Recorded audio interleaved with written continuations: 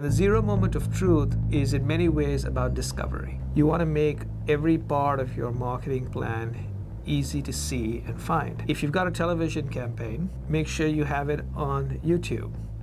Make sure that the names in the brand and the characters in the brand are keywords that you put into search engine. Have people in your organization tweet about it and to a great extent, if you hear anything positive, broadcast it, and if you hear anything negative, discuss it online.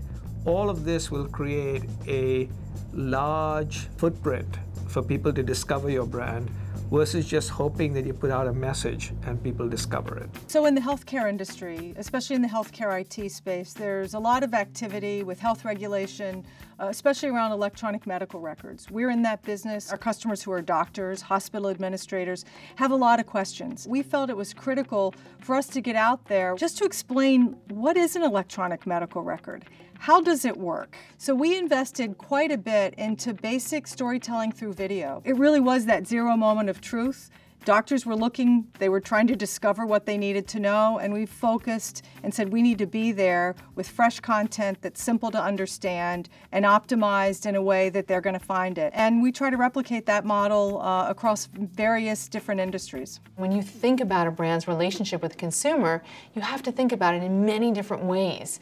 Talking to a consumer in social media is very different than talking to a consumer on mobile media. Whatever their need state is, is very important for brands to not only pivot around, but to create different kinds of campaigns and different kinds of dialogues based on where that consumer is at that moment that matters. Think about the zero moment of truth online as something of a giant call center. Of course, if they were calling your actual call center, you would have SLAs to answer the phone, to dispose of the call properly with great satisfaction within a certain duration of time.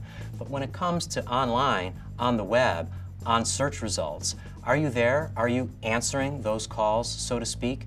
If you are, congratulations, because you're winning the zero moment of truth. Ask yourself, who on my team has as his or her primary job owning and helping us win the zero moment of truth?